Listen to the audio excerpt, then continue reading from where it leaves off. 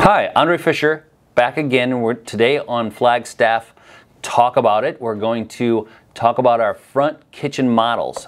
Our travel trailers have three different segments with our front kitchens in them, and the front kitchen becomes very advantageous for that camper that really likes to utilize our front windshield to look out the front. It's got a lot of countertop space in the very front of your coach. Also, the bedroom is in the rear of the coach, and so when you say front kitchen, maybe you're really meaning rear bedroom, which is great also, and that delineates you back to the back of the unit in your campground so it's maybe not as loud. It has a little bit more privacy. So the front kitchen has a lot of great advantages.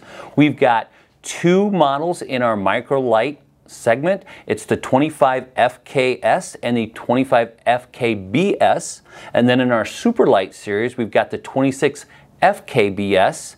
And then in our classic travel trailer series, we have the 826MBR.